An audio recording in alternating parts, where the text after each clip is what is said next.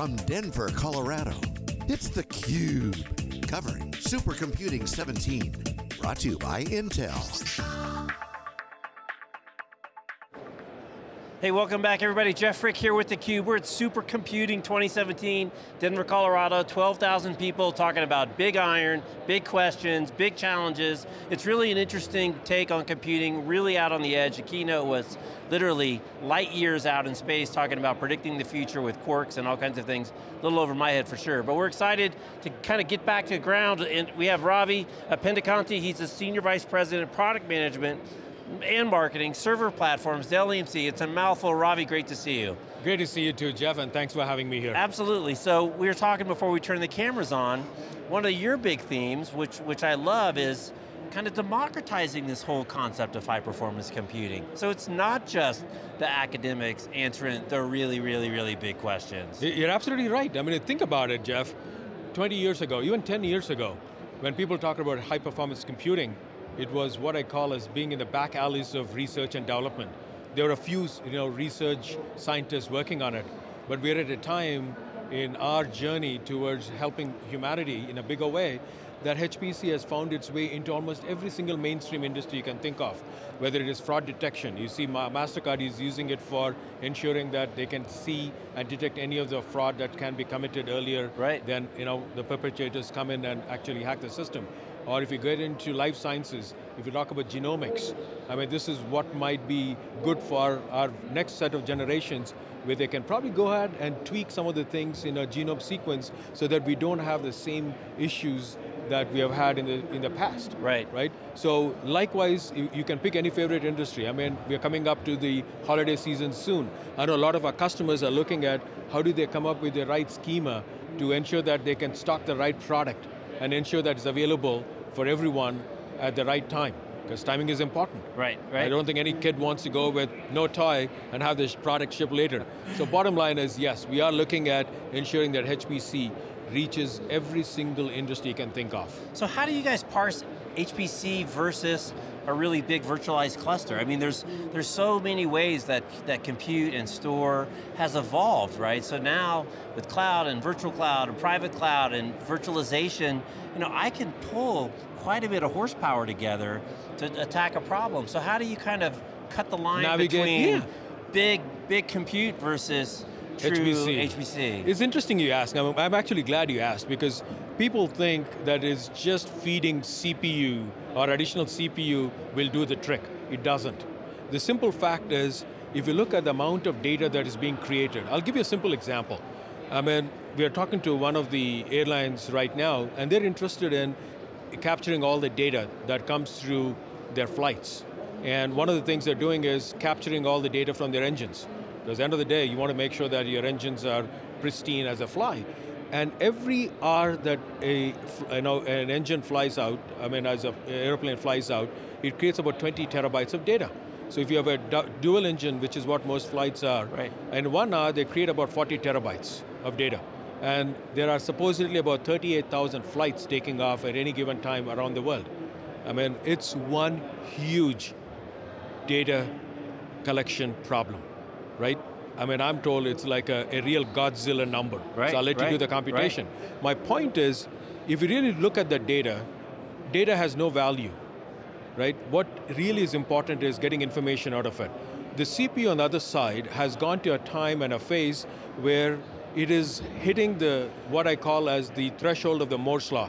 Moore's Law was all about, you know, performance doubles every two years. But today, that performance is not sufficient, which is where accelerated technologies need to be brought in. This is where the GPUs, the FPGAs. Right, right. Right? So when you think about these, that's where the HPC world takes off is you're augmenting your CPUs, or your processors, with additional accelerated technologies such as the GPUs and the FPGAs to ensure that you have more juice to go do this kind of analytics on the massive amounts of data that you and I and the rest of the humanity is creating. It's funny that you talk about that. We, we were just at a Western Digital event a little while ago talking about the next generation of drives, and it was the same thing where now it's this energy assist method to change really the molecular way that it saves information yes. to get more out of it. So that's how you kind of parse it. If you've got a yes. juice the CPU, Yes. to kind of juice the traditional, you know, standard architecture, Yes. then you're moving into the realm of Absolutely. I mean, this is why, Jeff, I mean, uh, yesterday we launched our new PowerEdge C4140, right? The first of its kind in terms of the fact that it is, a, it's got a, it's got two uh, Intel Xeon processors, but beyond that, it also can support four NVIDIA GPUs. So now you're looking at a, a server that's got both these CPUs, to your earlier comment on processors, but it's augmented by four of the GPUs that gives you immense capacity to Right, do this kind of high performance Right. computing. But as you said, it's not just compute. Yes. It's store. Yes. It's networking. It is. It's services. Yes. And then hopefully you package something together into a solution so I don't have to build the whole thing from scratch. Oh, you're, you guys this is are a perfect moves, right? lead-in, perfect lead-in. I know um, Uh, my colleague Armughan will be talking to you guys shortly. What his team does is it takes all the building blocks we provide, such as the servers, obviously looks at the networking, the storage elements, and then puts them together to create what are called as solutions. So we've got solutions which enable our customers to go back in and you know, easily deploy you know, a machine learning or a deep learning solution Right. where now our customers don't have to do what I call as the heavy lift in trying to make sure that they understand how the different pieces integrate together. So the, the goal behind what we are doing at Dell EMC is to remove the guesswork out so that our customers and partners can go out and spend their time deploying the solution, right? Whether it is for machine learning, deep learning, or you know, pick your favorite uh, industry, we can also Right, verticalize it. right. So that's the beauty of what we are doing at Dell EMC. So the other thing we were talking about before we turned the cameras on is, is I called them the IDIs from my old Intel days, reliability, sustainability, serviceability. Yes. And, and, and you had a different, uh, a different phrase for it. Oh yes, I know, you're talking about the RAS, The which is RAS, the right? reliability, availability, serviceability. But you got a new twist on it. Oh, we do. Adding something very important. We were just at uh, a security show Yes. earlier this week, CyberConnect, um, and security now cuts through everything. And Because Yes. it's no longer a walled garden, because Yes. there are no walls, it no really's walls. got to be baked in every layer of the solution. Absolutely right. The reason is, if you really look at security, it's not about, you know, till about a few years ago, people used to think it's all about protecting yourself from external forces. Right. But today, we know that 40% of the hacks happen because of the internal, you know, system processes that we don't have in place, right? Or we could have a person with, uh, with an intent to break in Right. for whatever reason. Right. So the integrated security becomes part and parcel of what we do. This is where, within part of a 14G family, one of the things we said is we need to have integrated security built in. And along with that, we want to have the scalability because no, no two workloads are the same, and we all know that you know, the amount of data that's being created today is twice what it was the last year for each of us. Right, Forget right. about everything else we're collecting. Right. So when you think about it, we need integrated security, we need to have you know, the scalability feature set. Also, we want to make sure there's automation built in. These three main tenants that we talked about feed into you know, what we call internally, the moniker we use is Paris, right? And, and that's where I think, Jeff, to Yeah, our earlier yeah. conversation, Paris is all about, uh, P is for best price performance. Anybody can choose to get the right performance or the best performance, but you don't want to shell out a ton of dollars, right? Likewise, you don't want to, you know, pay, uh, you know, minimal dollars and try and get the best performance. That's not going to happen. Right, right. I think it's a healthy balance between price performance. That's important. Availability is important. Interoperability, as much as everybody thinks that they can act on their own, it's nearly impossible. Right. Or it's impossible that you, uh, that you can do it on your own. They're big customers. You they got are. a lot of systems. You need to have an ecosystem of Right, partners right. and technologies that come together. And then, end of the day, you have to go ahead and uh, you know, have availability and serviceability, or security.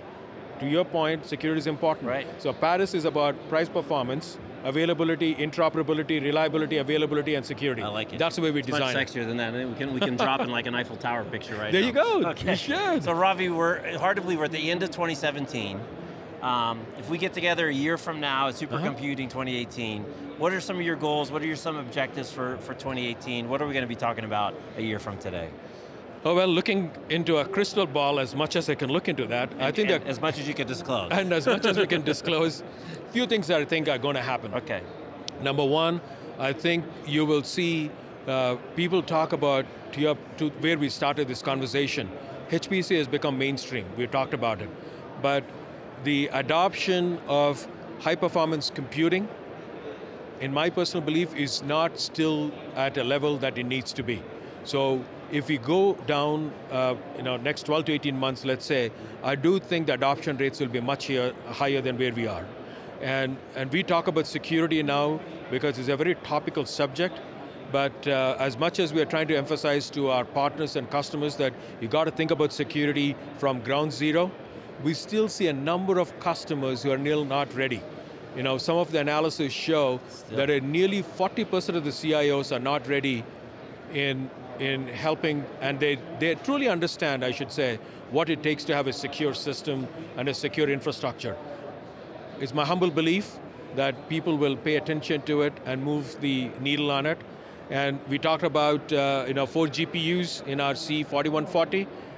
Do anticipate that there will be a lot more of accelerated technology packed Sure, into it. sure. So that's essentially what I could say without spilling the beans too okay, much. all right, super. All right, Ravi, for, thanks for taking a couple minutes out of your day, appreciate it. All right, he's you. I'm Jeff Frick. You're watching theCUBE from Supercomputing 2017 in Denver, Colorado. Thanks for watching.